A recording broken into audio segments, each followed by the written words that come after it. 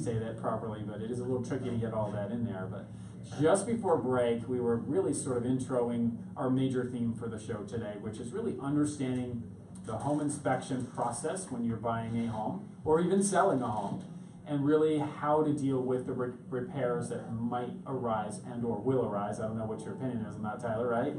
Um, in terms of what we find on the home inspection. So Preston, with you being our contributor here and this being your wheelhouse, why don't you kick us off and tell us, first of all, what is the home inspection report? What does our listener need to first understand about what that process is? Okay, well, thank you, For Chris. purpose, of course. Yeah, yeah. Well, the, the, the purpose is, uh, you know, like Tyler's going to show them a house, you know, they're going to make an offer on the house based on, you know, what they think the value is, you know, the comps and all that stuff, and that's what they price it.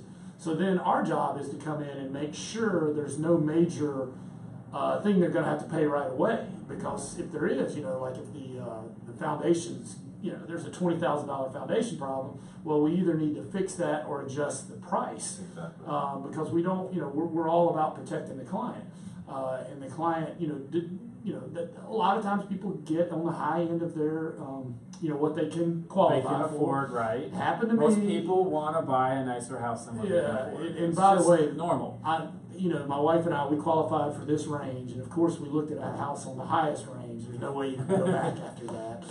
So, uh, know, I've learned that don't don't look at a house on the high end of your range because we never go down. But so then, what my point is, you're already you know kind of maxed out. I mean, you've you budgeted everything. I mean, I don't know if maxed out. You just don't want an unforeseen cost hit you like twenty thousand dollars. Like whoa, whoa, whoa, whoa. Wait a minute, you know, we didn't see that one coming. So that's our job is to protect the client uh, and protect their investment. I think you know real estate is the best investment, the best thing somebody can do. But uh, we're just there to uh, to make sure that they get what they're paying for or the value of what they're paying for. And if not, let's figure out a way we can make that happen.